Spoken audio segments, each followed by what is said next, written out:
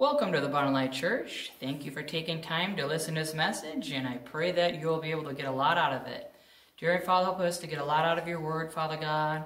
Thank you, Father, this isn't about me, but it's about you, Father God. Anoint our ears to hear. In Jesus' name, amen. This is titled My Vision and God's Vision. Proverbs 29 18. Where there is no vision, the people perish, but he that keepeth the law, happy is he. Some people have misused this verse and think, I need to have more possessions. I need to be the one in charge. But they miss the point about having the vision of happiness and joy in the Lord. Instead, their vision is to be in the calling that they see themselves in and not enjoying the giftings that God has for them. God has given us a calling to have the joy of the Lord in our lives and peace. That's the vision. That's such an awesome vision God has for us. I have seen people that are great at giving words from the Lord, but their vision was to teach, so they went on their own vision instead of God's vision for their life. It did not end up good for them or their church family. I'm not saying that God does not put different callings in your life that need to be developed, but we must make sure we're doing God's will and not our own. Proverbs 3 5 through 6. Trust in the Lord with all your heart, and do not lean on your own understanding. In all your ways acknowledge him, and he'll make straight your path.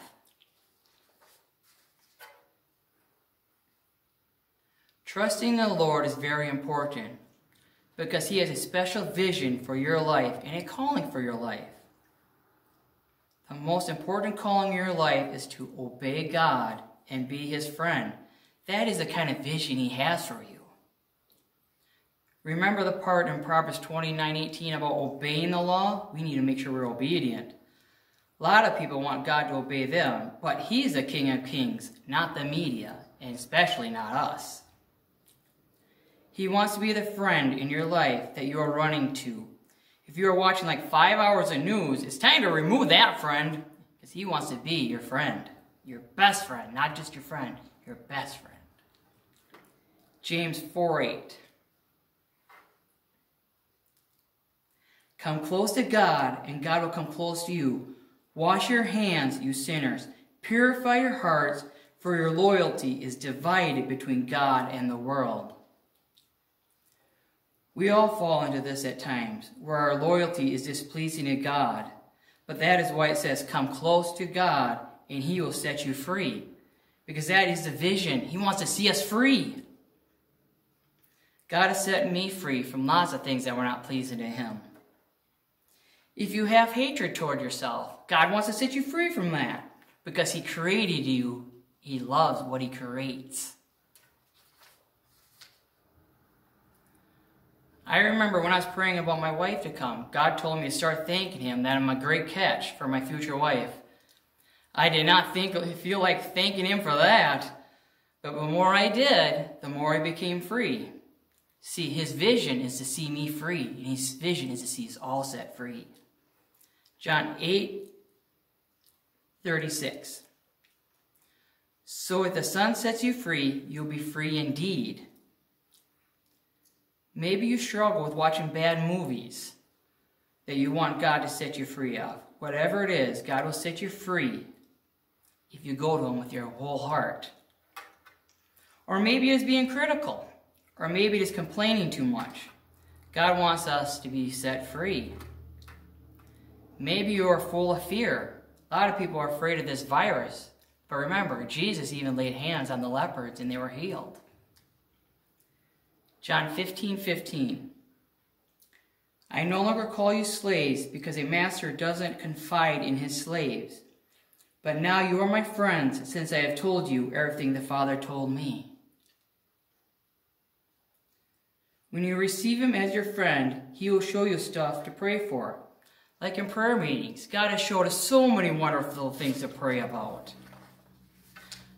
A lot of them is to remain faithful to God and a lot of them are, he's proud of us for taking time to, to pray. God loves talking to us. John 15, 5.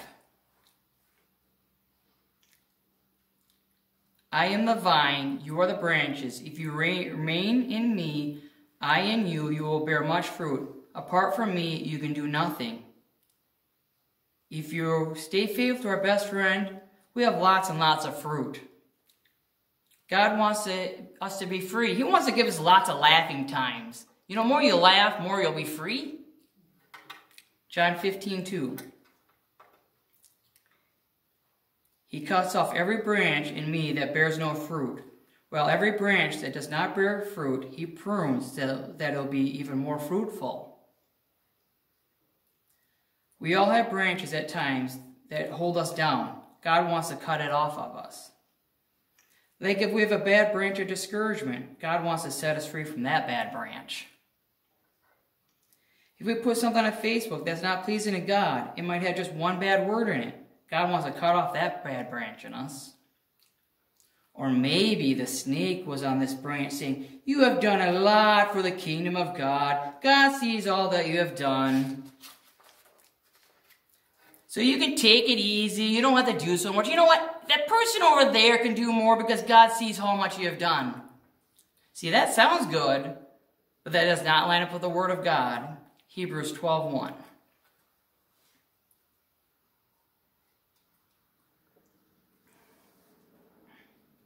Therefore, since we are surrounded by such a huge crowd of witnesses to the life of faith, let us strip off every weight that slows us down, especially the sin so easily trips us up by, and let us run with endurance the race God has set before us.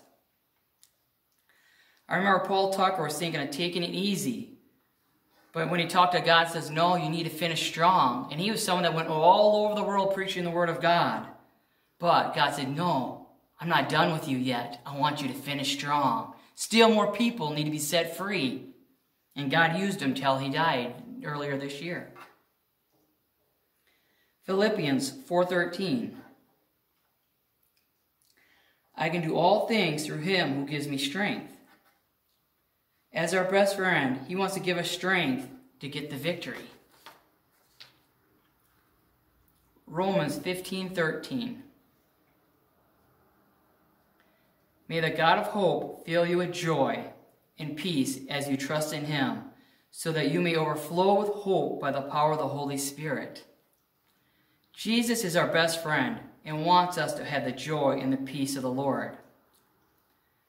I remember one time things were very difficult, so I asked God to give us something to laugh about. And He blessed me with something to laugh about. Because He did that because He loves me, because He's my best friend. God came to Moses in the burning bush as a friend and said he wants to use him to set the Israelites free. Moses, as a friend of God, said, I'm not good at talking. So God was like, I'll give you your brother to help you speak. If you want to read more about that, it's in Exodus chapter 3. God has come to many, many times with great ideas to bless me. When me and Sarah were just friends, I was worshiping God one night and he came into the room and says, Ben, take Sarah as your wife. And I'm like, what, God? And then God says, stop beating around the bush. Take her as your wife. See, as a friend, God was telling me that. And I'm so happy I obeyed him. Okay, Solomon asked God for wisdom. 1 Kings 3 9. So give your servant a discerning heart to govern your people and to distinguish between right and wrong. For who is able to govern this great people of yours? If you keep on reading, it says how God was pleased with his servant. And he blessed him with even more than he asked for. God loves to bless his children, and a special blessing for each one of us. But we must bless him by making him our best friend. If you're wondering how to develop a better friendship with God, here are some ideas. It is simple. Put worship music on in your house and let it play over and over. Or put the Bible on CD and let it go over and over. One of my friends, she went through a divorce and through divorce recovery, they taught her, you know what? Why don't you listen to only Christian music for one month and see if that'll change your attitude? So she reluctantly said, okay, I'll give it a try. She listened to only Christian music for one month and it changed her whole attitude. Too bad she went to know on this when she's married. It might have saved her marriage. But it's better to learn late than never, I guess. Another one of my friends, we were talking to her how basically she needs to, you know, stay away from that secular music and focus on worshiping God and listen to His music. She didn't really listen to us until one day she was in the car. She put her secular music, grabbed her secular music CD, put it in the CD player. Boom, the power of God came in the car, took that CD out and put her Christian one in there. She came and told us all how God set her free from secular music. See, we just prayed about it because she didn't receive from us, but over time she got set free. See, God's vision for our lives is us to worship Him. Isaiah 43 21. Just need some more water here. A lot of talking for me. This people I have formed for myself, that they may proclaim my praise. The King of Kings formed us to worship him, so our vision for our lives should be to worship him and declare praise to him. God is looking for us to praise him and be thankful for all the blessings he has blessed us with. Like this year, I have had a lot of blessings from, from the Lord. If we look at the stuff going on, you can get discouraged. But we must choose to praise the Lord and let the Lord humble our enemies. Habakkuk 2.4 See, the enemy is puffed up. His desires are not upright, but the righteous person will live by his faithfulness. The enemy gets all puffed up when we get discouraged, or when you start to complain about your brothers and sisters in the Lord. We need to be faithful to God, how we see our brothers and sisters in the Lord. God's vision is to see his children getting along so they can follow God's vision. The devil has a vision as well, which is complaining and put each other down. Romans 12 18. If it is possible, as far as it depends on you, live at peace with everyone. Now, how do you react when someone authority corrects you? Do you choose peace? There is a story, this one person was being in the flesh. The leader had enough of that, and he yelled at him and said, Get behind me, Satan. But the person that was being yelled at chose to live at peace with this leader. That story is actually found in the Bible. Matthew 16 23, Jesus told Peter to get behind me, Satan. There's going to be lots of times at church where the message may be a little harsh, but it is for our benefit to grow in the people that God has called us to be. Do we submit to the leaders or do we complain? Like when God gives the pastor a message, do we follow what God has put on his heart? Or like when the worship leader, um, God tells him, the worship leader, okay, I want everybody to raise their hands and surrender to God. Do you submit to what the Word of God says? When God tells you to clap, when the worship leader, God puts on the worship leader to clap for the victory, do you clap? I've seen it where God has told people to dance for their victory and they didn't dance, and they never got their victory because they didn't obey the word of the Lord. We must always remember to submit to God. Well, that's the end of this message, so let me just pray with all of you. Dear Father, thank you, Father, for this day, and dear Father, help so this word of God will penetrate your lives. In Jesus' name, amen.